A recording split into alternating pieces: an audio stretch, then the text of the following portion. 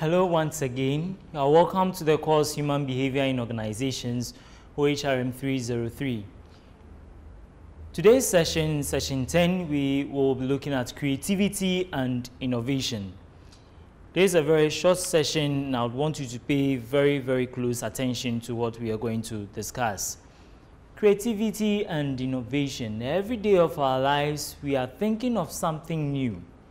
But to what extent are we able to put all these you know, wonderful ideas into something practical? In this course, we are going to um, look at what we actually mean, what is creativity, and then what innovation is. Usually these terms are used interchangeably, but of course there is a difference. In creativity, we are thinking about how you combine ideas in a unique way, or you think about something that is you know, so unique or something which is so new or unusual. Then innovation, we are looking at how you are able to channel those unique ideas, those unusual ideas into something useful. And simply, we say that in creativity, we are thinking about something, but then in innovation, that is where you actually implement those creative ideas. I hope this is clear.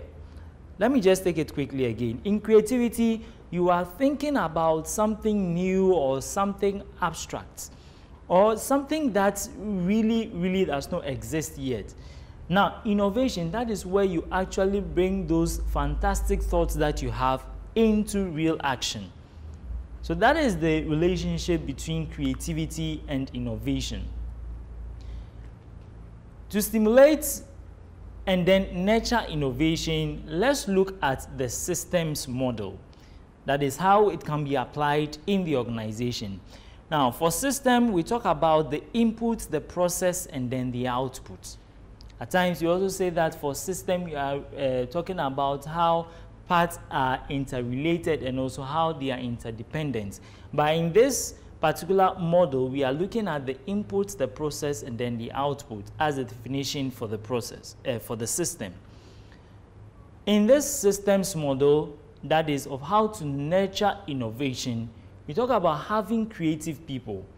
So at the beginning, we want to bring in uh, organizational members or candidates who have creative ideas. Now, in order to know how people are creative, usually through the interview and then other selection methods, we are able to screen and we get to know those who, who have very nice ideas or creative ideas that are consistent with the vision or the uh, purpose for the organization. So we have such creative people in the organization. Now, with such creative people, they have to find themselves in the right environment. Now, you can have a lot of people, you can have people with very bright ideas, but then they will be in the wrong environment. Now, if they are in an environment that is not enabling, in an environment that does not allow them to explore, that does not give them the opportunity to try out their creative uh, ideas, then all those ideas will eventually die.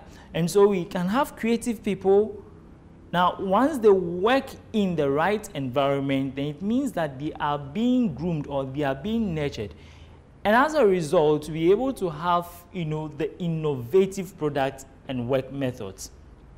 Indeed, I very well believe that there are some individuals who, um, you know, have invented some things that we use now. If they had worked in a different work environment, there are some of the inventions that we have now that would really, really not have been in, in existence.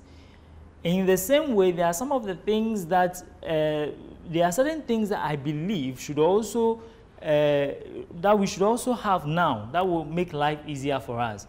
But because there are some individuals who, are, who have not found themselves yet in the right environment, we don't have such innovative products and then work methods.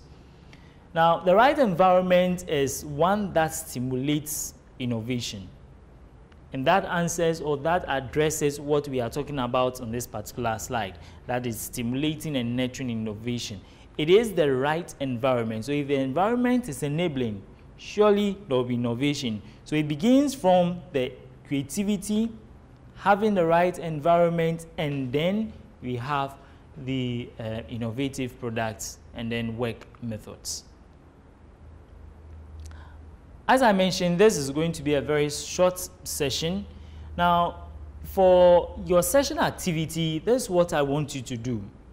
We've said that creativity and innovation are used interchangeably. Okay, now how are they similar and how do they differ? I want you to do a lot of reading about it and then come out with a lot more similarities and differences. And also in your um, group activity or at your group levels, just see um, or give examples of individuals who found themselves in the right environment and also list the sort of innovative products and services um, or work methods that we now have as a result of the working in an enabling environment. I wish you the very best in your discussions and then hope to see you in the next session. Thank you.